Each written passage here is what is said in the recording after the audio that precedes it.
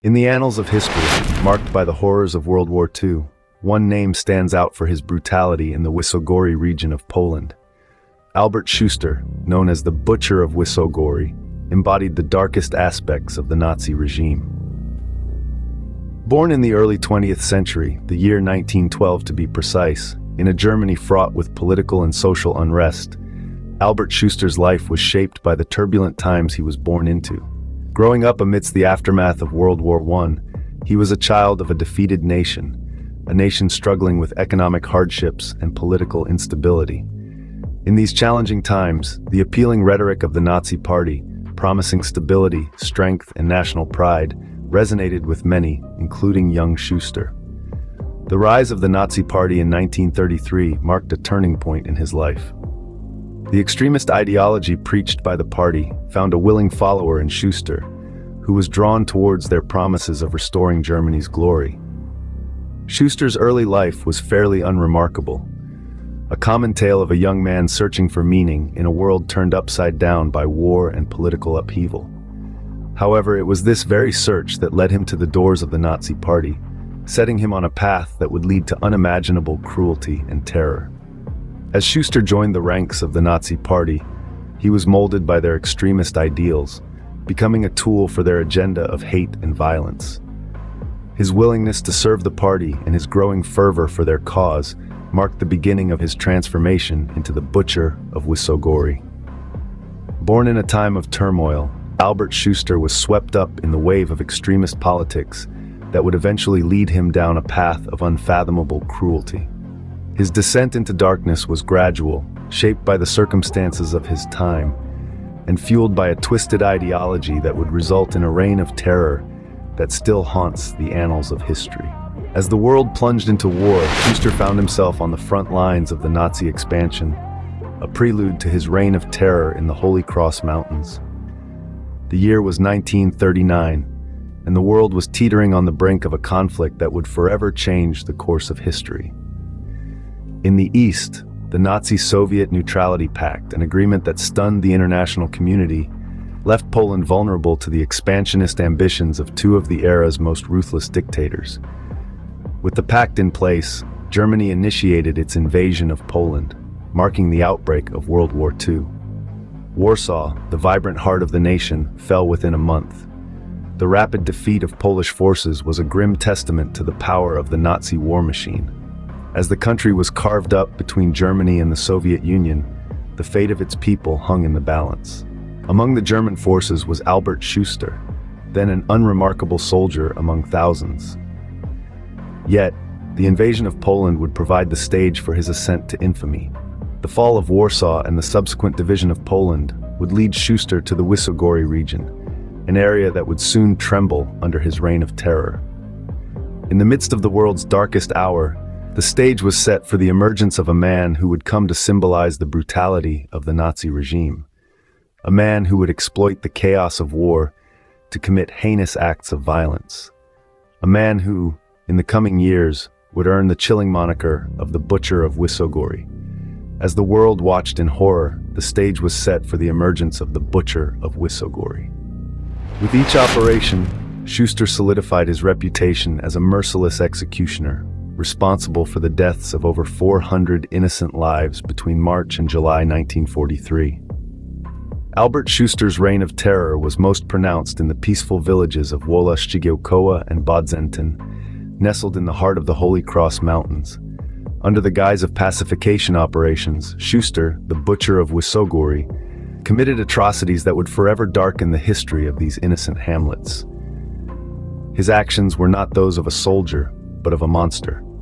He did not distinguish between the old and the young, the weak and the strong.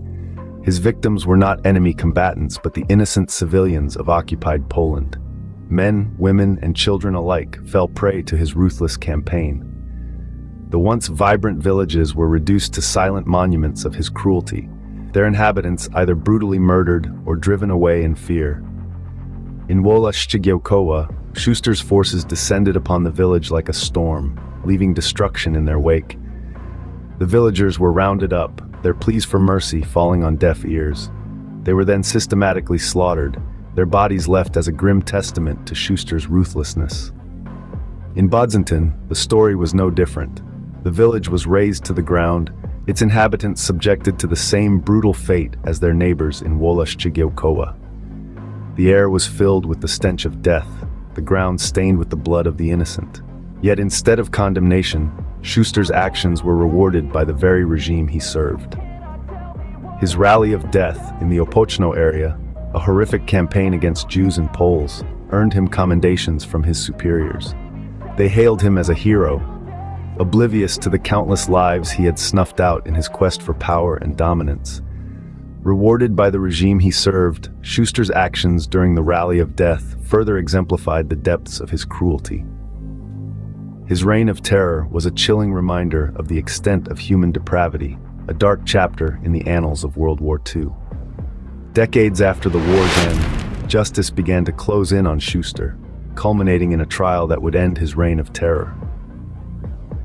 The world had changed, but the memory of Schuster's atrocities lingered like a dark shadow over the Holy Cross Mountains.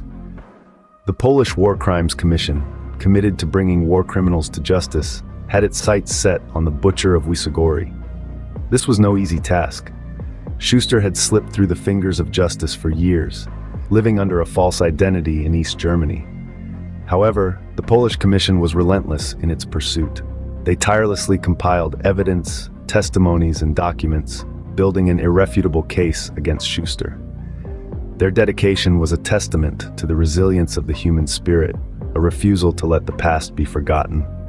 Meanwhile, the Stasi, East Germany's secret police, played a pivotal role in Schuster's capture. Unbeknownst to Schuster, they had been surveilling him for some time. In a twist of fate, the very regime he had once served was now instrumental in his downfall. His arrest in 1972 sent shockwaves through the world. The butcher of Wysogori, the man responsible for the death of over 400 innocent lives, was finally in custody. The trial that followed was a spectacle of justice that the world had been waiting for.